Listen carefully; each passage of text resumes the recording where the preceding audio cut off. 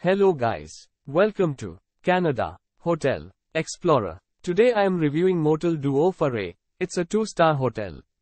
Please use our booking.com link in description to book the hotel and get good pricing.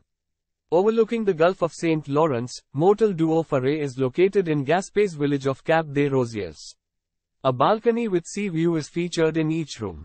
A flat-screen cable TV, free Wi-Fi and private entrance are offered in each room. A kitchenette and terrace are furnished in select rooms. Shared facilities at this motel include barbecues, a dining area and outdoor seating area. Whale and seal watching are possible at the nearby beach. An array of activities such as diving, snorkeling, fishing, kayaking and horseback riding are offered in the surrounding area. The Forillon National Park is 20 minutes drive away, and the Cap des Rosiers Lighthouse National Historic Site of Canada is 492 feet away. Use our link in description to get special discount on this hotel. Don't forget to like and subscribe to our channel.